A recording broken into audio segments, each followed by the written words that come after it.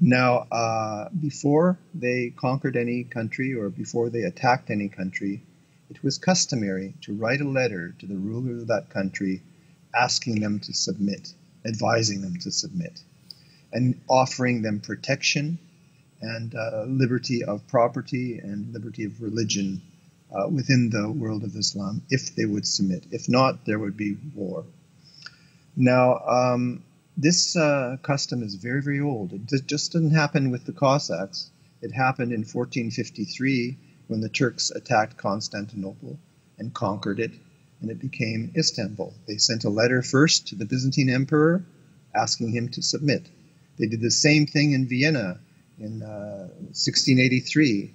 The, the Sultan wrote, or the Sultan or his Grand Vizier, I don't recall which, wrote to the emperor in, in Vienna saying submit and you'll get protection. If you don't, means war.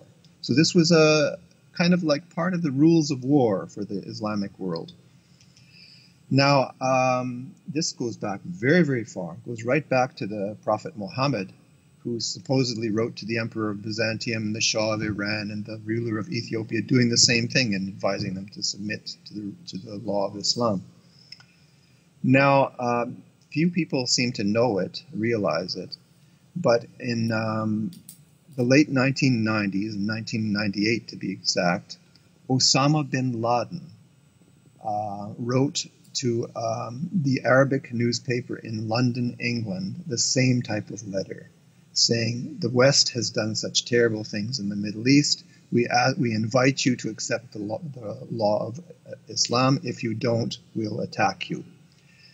And uh, this was uh, generally ignored by the, by the public.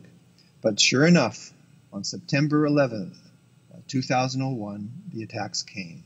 And they came in New York and Washington, and we all saw them on television.